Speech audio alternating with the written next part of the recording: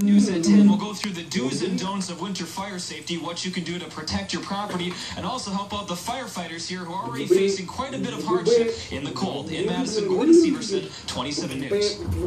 Fire officials also recommend getting your furnace checked by a professional at least once a year. Exposed wires or dust buildup can easily cause a fire in your heating system.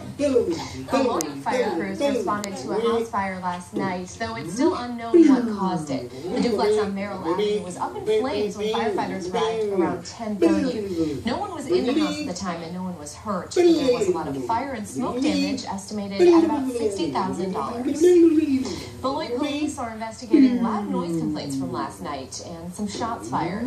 Officers found 11 40 caliber casings near the intersection of 8th and West Grand Streets yesterday evening. If you have any information on the incident, you're asked to call Beloit police at the number on your screen.